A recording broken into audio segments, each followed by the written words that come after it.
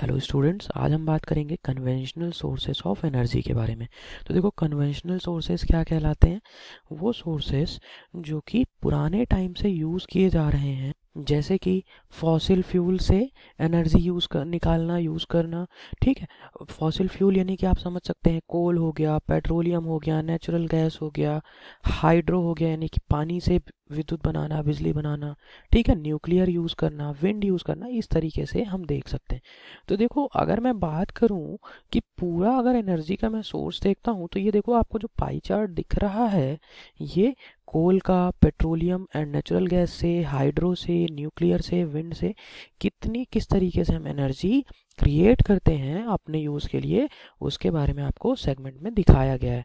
ठीक है? तो देखो, यहाँ पर मैं कन्वेंशनल सोर्सेज की बात कर लेता हूँ। तो पहला हो गया fossil fuel thermal power plant thermal power plant में क्या होता है? आप कोल को यूज़ करते हो, उसको बर्न करते हो, जो हीट जनरेट होती है, उससे आप पानी को हीट करते हो और स्टीम में कन्वर्ट करके उससे इलेक्ट्रिसिटी जनरेट करते हो। इसी तरीके से hydro power plant hydro power plants में क्या होता है? आप वाटर को यूज़ करते हो डैम बनाते हो डैम बनाने के बाद, देखो यहाँ पे देख सकते हो आप, ये हाइड्रो पावर प्लांट पूरा शो किया गया है। तो आपने डैम बनाया और यहाँ पर एक गेट लगाया, ये डैम का पूरा रिजर्वायर हो गया। और यहाँ से आपने ये पावर हाउस था जनरेटर था और ये टर्बाइन ब्लेड्स लगी हुई हैं।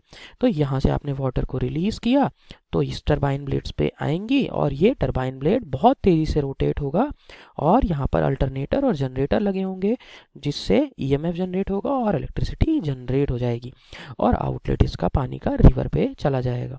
ठीक है? देखो, ये हो गया हाइड्रो पावर प्लांट के बारे में। देखो, मैं और दो इम्प्रूवमेंट के बारे में बात करूँगा जो कन्वेंशनल सोर्सेस में इम्प्रूवमेंट हुए थे, जैसे कि बायोमास एनर्जी ठीक है, कि बायोमास को आप कैसे यूज़ करते हैं या फिर आप इसको सिंपली समझ सकते हैं कि जैसे आप गोबर गैस बनाते हैं, ठीक है, यहाँ से आप स्लरी डालते हैं, इसको अर्थ के अंदर आप छोटा सा गड्ढा बना के भी कर सकते हैं। तो देखो, यहाँ से सॉइल और ये सारी चीज़ें आप डस्ट वगैरह वो डालते हैं, आपका जो भी वेस्ट मटेरियल होता है, और यहाँ पर डाइजेस्टर होके गैस यहाँ से फाइनली आपको आउटलेट मिल जाती है, और आपको फर्टिलाइज़र और मैन्योर मिल जाता है। बेसिकली यहाँ पर गोबर गैस का यूज़ करते हैं और हम गैस अपनी यूज़ की निकाल लेते हैं लाइक मीथेन बन जाती है और इसको आप डिफरेंट सोर्सेज के लिए, जैसे खाना बनाने के लिए आप यूज़ करते हैं। तो ये बायोमास एनर्जी हो गई। ठीक है, इसी तरीके से आप विंड एनर्जी को समझ सकते हैं, यानी कि पवन चक्की आपने देखी होगी। तो देखिए विंड एनर्जी में क्या होता है? आपने बड़े बड़े विंड टर्बाइंस देखे होंगे, जैसा कि ये ब्लेड्स तीन ब्लेड्स शो की गई हैं। तो विंड की स्पीड की वजह से ये रोटेट होते हैं और अल्टरनेटर लगा होता है नीचे और यहाँ से बिजली जनरेट हो जाती है इलेक्ट्रिसिटी जनरेट हो जाती है।